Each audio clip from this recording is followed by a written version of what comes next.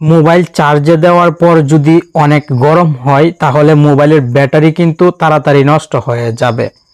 আপনার মোবাইলটি যেহেতু চার্জে দেওয়ার পর হান্ড্রেড পারসেন্ট চার্জ হওয়ার আগেই অনেক গরম হয়ে যায়, তাই ভিডিওটি শেষ পর্যন্ত দেখবেন। গোপন একটি অ্যাপের সাথে পরিচয় করিয়ে দেব, আর কিছু সেটিংসের কাজ দেখাবো। এই কাজগুলো সঠিকভাবে আপনার মোবাইলে করবেন, তাহলে চার্জ করার সময় মোবাইল অতিরিক্ত গরম হবে না। প্লে স্টোরে প্রথমে চলে আসবেন এবং কিল অ্যাপস। এই লোগোর অ্যাপটি ইনস্টল করে নেবেন।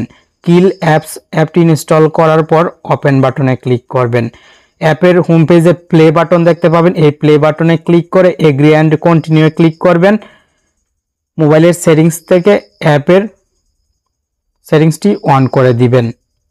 ব্যাকে চলে আসবেন। পুনরায় প্লে বাটনে ক্লিক করে শো দা সেটিংসে ক্লিক করবেন এবং এখান থেকেও সেটিংসটি অন করে দিবেন। প্রতিদিন এমন প্রয়োজনীয় গুরুত্বপূর্ণ ভিডিও পেতে আপনার প্রিয় টেকন বাংলা চ্যানেলের সাথেই থাকবেন। লাইক, কমেন্ট করে। এখন আপনি অ্যাপের হোম পেজ থেকে প্লে আইকনে ক্লিক করবেন। সঙ্গে সঙ্গে মোবাইলের ব্যাকগ্রাউন্ড থেকে সব অ্যাপ ক্লোজ হতে থাকবে। চলুন, এই সুযোগে আমরা মোবাইলের কিছু গুরুত্বপূর্ণ সেটিংসের সাথে পরিচিত হয়ে নেই।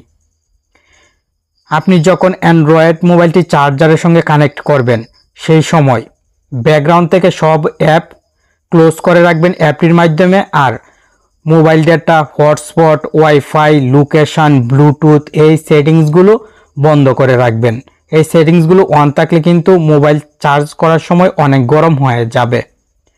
আর এয়ারপ্লেন মুড সেটিংসটি অন করে দিবেন।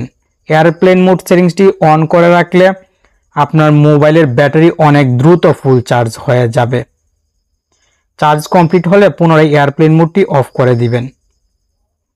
অ্যাপটি চার্জে যখন মোবাইলটি দিবেন, সেই সময় প্লে আইকনে ক্লিক করে ব্যাকগ্রাউন্ড থেকে মোবাইলের সব অ্যাপ রিমুভ করে দিবেন এবং ওয়াইফাই ব্লুটুথ লোকেশান সেই সঙ্গে এয়ারপ্লেন মোড যে সেটিংসগুলো দেখিয়ে দিলাম, এই সেটিংসগুলো পরিবর্তন করবেন। তাহলে মোবাইল চার্জ করার সময় অতিরিক্ত গরম হবে না।